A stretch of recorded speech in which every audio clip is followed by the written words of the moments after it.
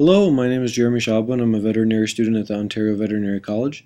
I work in an equine respiratory lab where we analyze bronchoalveolar lavage or BAL samples sent in from local practitioners. Oftentimes the slides sent in were not prepared correctly, so the goal of this video is to demonstrate the way in which we prefer to prepare a direct smear from BAL fluid. Once you have collected your fluid, you will need to centrifuge 10 to 50 mils of whole fluid for 10 minutes at 3000 RPMs. Remove your tube from the centrifuge and you should see a cell pellet similar to this one at the bottom of the tube. Pellets range in size depending on how cellular your sample is. Gently pour off the supernatant and then resuspend the cell pellet at the base of the tube by gently tapping on the tube.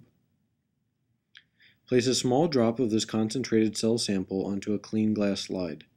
Spread the sample around by tipping it in several directions. Smears that are too thin will yield insufficient cells for identification, whereas thick smears with excessive mucus will make cell differentiation very difficult or hard to perform.